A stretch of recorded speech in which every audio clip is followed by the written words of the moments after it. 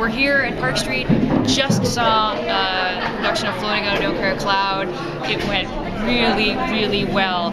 Uh, it's always so funny when I when you go and see plays and how sometimes the vision that's in my head is completely different than what I see on stage, and then sometimes the things that I see in my head come alive completely. Uh, the way that uh, Pot is described in the play, it's a cloud, so it's like seven characters, and they surround the main character, and the way they did it today was just like, it was just perfect, exactly the way I saw it.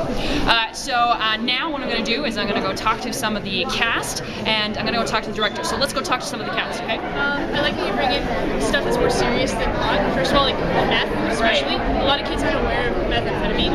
Or that, or that the people who use it are exactly like mine. Like they're at the top of their class, and they're using it to get, they're using it to get ahead. Like they're not, they're not scumbags. Yeah. They're they're using it because they have so many, so much expectations on them, and and that's the way they use it. I knew right away that Jamie wasn't going to be. If someone was going to die, it wasn't going to be Jamie. It was going to be someone who you didn't expect. And then the way that uh, what's the, what's her name? Who played Maya. That's Liz. Oh, the way she did the the uh, her her death scene was just like like I was like I've seen it I've seen it before I wrote it and I was just like how did you guys like being in the in the cloud It was it was a fun experience. it was fun you guys looked like I really liked um, a lot of the like the reaction shots were perfect you know like when um, you know like uh, am I on am I am I on a horse am I am I, am I on a cruise ship you you guys were so uh, scornful of, of, uh, of TJ. It was just perfect. No, I know. I was telling I was telling your teacher that um, the way size and just the way that you look and the way that you played it was exactly how I saw TJ. Okay, so uh, now what we're gonna do is uh, we're gonna go talk to Leanna Neal, who is the director here. And uh, the cool thing about uh, this, how all this came about, is that there is a conference here in Ontario called the Code Conference, and Craig was there. Craig, uh, shake the camera, say hi. and Leanna came up and said, social awareness plays. What have you got? And the first play that Craig put into her hands was Floating on a Care Cloud. And she loved it, and here we are. So now let's go talk to her. Why did you choose it? I fell in love with the play after reading a few, and I was sitting in the staff room and I was laying on the couch and I had my feet up, and I read it and I could not stop turning the pages, and then I knew. Ah, so always a good sign. Always a good sign. And now that you you have it up, you still have the same. I do, and every time I see it, there's something new and something more exciting that I would do.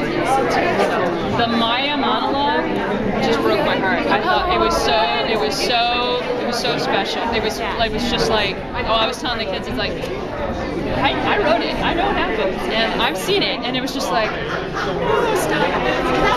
So it was really, really good. What's the response been? the response has been really, really positive. Yeah. Um, and a lot of people are saying, you know, they liked it because it's not preachy, and it's a good message, and it gets people thinking. And it's been surprising some of the other kids who have put up their hands and said, well, somebody asked me to try marijuana, and you're thinking, oh, what world, you know? And then the cast to talk back and be very candid with them, that's been a phenomenal experience for them to be able to say, you know, this is how you don't, this is how you can say no without, without being, you know, criticized by those kids. Well, that's the whole point. Is at the end, it has to be a question. Because there has to be the question of not give all the answers. It's not my job. It's not my job to tell a 12-year-old or a 15-year-old or a 20-year-old or a 30-year-old, you know, don't do this. You, you shouldn't do that. But you have to be the one who answer the question for yourself.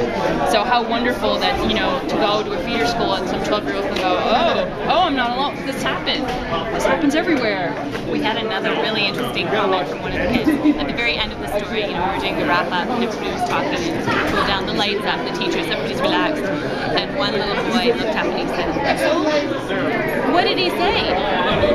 Did he choose? What did he choose? And the cast just sort of paused. Well, and threw it back out to the group. What do you think he should have chosen? So it was interesting to hear them talk. Well, obviously he should choose his family. That's thing to do. so, yeah, it was good. For the family. Awesome. That's great. Thank you so much, Dan. I'm so happy that I was able to come. Thanks for coming. Yes. Fantastic.